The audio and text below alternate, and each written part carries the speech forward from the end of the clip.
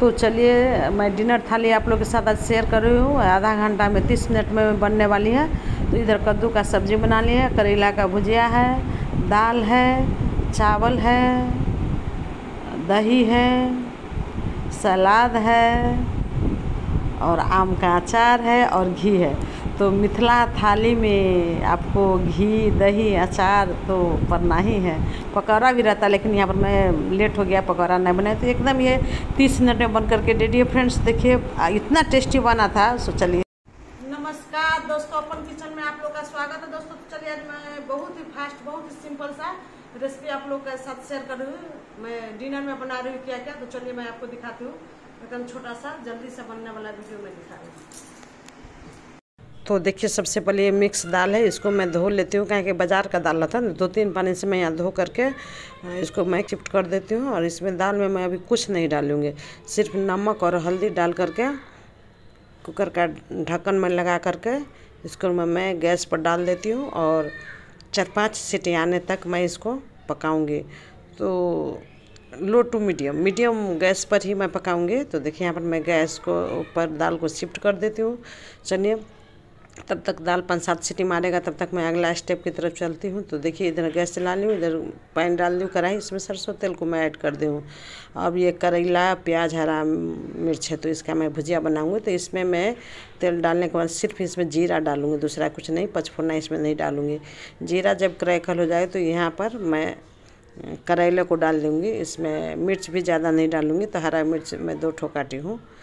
तो यहाँ करेला को मैं डाल देती हूँ और नीचा ऊपर कर देने के बाद थोड़ा देर अभी इसमें मैं कुछ नहीं डालूँगी। सिर्फ़ करेला को नीचा ऊपर करके उसके बाद मैं ढक दूँगी। ढक कर दो मिनट, डेढ़ दो मिनट के बाद फिर मैं आपको दिखाती हूँ। तो देखिए, इधर दाल भी सीटी मारा है तो इस तरह से कुछ डेढ़ दो मिनट के बाद देखिए मेरा करेला उल्टा पुल्टा करके इस तरह से थोड़ा सा गल गया तो अब मैं इस स्टेज पर नमक डाल देंगे। कह कि नमक डालने से थोड़ा सा करेला गल जाएगा, नरम पड़ जाएगा। तो नमक डाल करके देखिए, फिर मैं करेला को उल्टा पुल्टा कर लेती हूँ और फिर मैं ढक दूँगी। अभी फिर भी मैं प्याज अभी नहीं डाल डालूँगी, थोड़ा देर के बाद मैं डालूँगी। तो देखिए, फिर एक बार ढकने के बाद अब मैं फिर आपको दिखाती हूँ देखिए कितना सुंदर से करेला पक गया, नरम पड़ गया। है तो करेला का थोड़ा इस तरह से बनाएँगे तो तीखा कम लगेगा, थोड़ा सा नमक पहले ही डाल दीजिएगा। तो चलिए अब मैं इसमें प्याज और हरा मिर्च जो है सो डाल देती इसमें प्याज थोड़ा ज़्यादा दीजिएगा करेला में तो थोड़ा सा मीठा मीठा भुजिया अच्छा लगता रहता है। तो फिर मैं ढक दी हूँ। देखिए इधर दाल मेरा सीटी पर सीटी मार रहा है करीब करीब दाल मेरा पक गया। अब मैं गैस को दाल का बंद कर देती हूँ। करेला का भुजिया में आपको टाइम लग जाएगा। तो देखिए फिर अब मैं उल्टा पलटा कर लिया। अब मैं इसमें मिर्च मसाला डालूँगी। तो हल्दी है धनिया है और थोड़ा सा मिर्च और थोड़ा सा जीरा और गोल मिर्च का पाउडर। तो भुजिया में करेला में ज़्यादा नहीं पड़ता है। तो, अब इससे भी भुजिया में हम कम डालते हैं। ये तो करेला है तो इसमें थोड़ा प्याज ही ज़्यादा दीजिएगा और हरा मिर्च में डालूँ ढक दूँ। करेला पकाने के भुजने के बाद मैं फिर यहाँ पर कद्दू पकाएँगे और उस तब इधर चावल भी धो देती हूँ। करेला देखिए इधर चावल चार पाँच पानी से मैं अच्छा से धो देती हूँ। है तो अपने घर का फिर भी थोड़ा सा चार पाँच पानी धो देने से ना चावल फ्रेश बनेगा। तो हम लोग अपने घर का बासमती चावल है।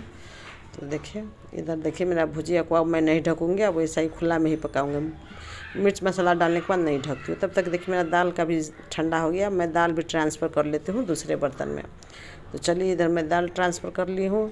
देखिए भुजिया में अभी भी थोड़ा टाइम लगेगा। उसके बाद फिर मैं सेम कुकर में, सेम पैन में कुक चावल को मैं इसमें ऐड कर दी हूँ और चावल का भी मैं ढक्कन लगा करके और मैं गैस पर डाल देती हूँ। क्या कि दाल भी पक गया, भुजिया भी करीब करीब पक गया, थोड़ा देर दो तीन मिनट और लगेगा भुजिया में। एक सीटी के बाद भात बंद कर दूँगी। तो देखिए मेरा भुजिया भी पक गया, अब मैं इसको दूसरे बर्तन में ट्रांसफ़र कर ली तो सेम पैन में सब्ज़ी बना लूँगी। तो इसमें फिर सरसों तेल ऐड कर दिए एक ठो तेज़पत्ता ऐड कर देंगे। सब्ज़ी में तेज़पत्ता का टेस्ट अच्छा था और इसमें जीरा एक चमचा और थोड़ा सा पाँच फोरन। पाँच फोरन छोटा चमचा है तो एक एक चमचा में डाल दिए और थोड़ा सा यहाँ पर कद्दू के सब्ज़ी में ना हींग का भी टेस्ट बहुत अच्छा था तो थोड़ा सा मैं यहाँ पर हींग को भी ऐड कर दूँ। पीछे से हींग डालिएगा। और उसके बाद यहाँ पर प्याज और हरा मिर्च जो काटी हूँ मैं, जब भी सब्ज़ी में ना थोड़ा सा हरा मिर्च ही ज़्यादा प्रयोग करती हूँ, लाल मिर्च कभी छोला वगैरह में डालती हूँ। तो देखिए आधा मिनट भुनने के बाद प्याज हरा मिर्च को तो यहाँ अदरक, लहसुन का पेस्ट डाल देते हैं एक एक चमचे और थोड़ा सा आधा चमचा कद्दू में ना लहसुन भी बहुत अच्छा लगता है, लहसुन, प्याज कट है। तो अब इस स्टेज पर यहाँ पर मैं क्या करूँगी, कद्दू को डाल दूँगी। अदरक, लहसुन थोड़ा सा भून देने के बाद यहाँ पर कद्दू को डाल दूँगी। इसमें मैं पानी वगैरह नहीं डालूँगी कद्दू में। तो देखिए, अब मैं इसमें मिर्च मसाला को भी ऐड कर देती हूँ। एकदम सिंपल तरीक़ा से बनाती हूँ। हल्दी पाउडर है, धनिया पाउडर एक चमचा, लाल मिर्च है, तीखा नहीं है, और ये जीरा और गोल मिर्च का पाउडर। तो इस सारे को मैं ऐड कर दूँ कद्दू मिठाई अच्छा लगता है। और इसके बाद नमक भी मैं डाल दिया अब मैं इसमें कुछ नहीं डालूँगी, इसके बाद मैं ढकूँगी। इधर भात भी एक सीटी में पक जाएगा। देखिए अब मैं इसको ढक देती हूँ, पानी वगैरह नहीं डालूँगी। तो देखिए मेरा भात भी पक चुका है, मैं गैस को बंद कर दिया। अब मैं दाल को छोका लगा लेती हूँ तो इसमें घी डाल दी और जीरा डाल करके गैस बंद कर दी हूँ। और देखिए, यहाँ तड़का मैं दाल में लगा दी घी और जीरा से। देखिए, कद्दू का सब्ज़ी भी मेरा करीब करीब पक चुका है फ्रेंड्स। तो चलिए, अब मैं दिखा देती हूँ, मैं क्या क्या बनाई हूँ डिनर में। सो आपको देख देख लीजिए, मेरा खाना करीब करीब पक चुका है। थोड़ा सा कद्दू को मिला ली हूँ, थोड़ा सा मेरा थोड़ा हुआ, मिला हुआ अच्छा लगता है। तो दाल, कद्दू का सब्ज़ी, चावल, एक करेला का भुजिया, सलाद, मिर्चा, आम का अचार और एक चमचा घी तो बनता है, यहाँ पर मैं खाना को सर्व कर दी। तो देखिए फ्रेंड्स, मेरा सिंपल सा आज मैं डिनर आप लोग के सामने शेयर की हूँ।